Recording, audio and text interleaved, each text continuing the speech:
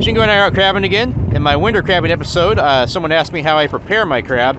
Here's the simple way I prepare my crab 90% of the time. I'm only cooking two crab today. I'm going to fill up this pan with 5 quarts of water. Bring the water to a roaring boil and add about an eighth a teaspoon of salt. About a quarter of a cup of Old Bay seasoning. Like that. That's probably good. And a bay leaf or two. Now I'm going to add my pre-cleaned crab halves. So, you know, I break my crab in half and clean them that way. There's a good example of one, you know. Keep all the legs together on the shoulder meat there. I'm going to let these fellers cook for about 15 minutes. Some people like it closer to 20. I like 15. After 15 minutes of full boil, I take them and I strain them through a colander. To stop the cooking process, I like to just dump a bunch of ice on them. Optionally, you can make some garlic butter in the microwave, but sometimes you don't even need that. Well, that, that is so friggin' good. That's good eating. See you next time on Washington Shellfish Quest.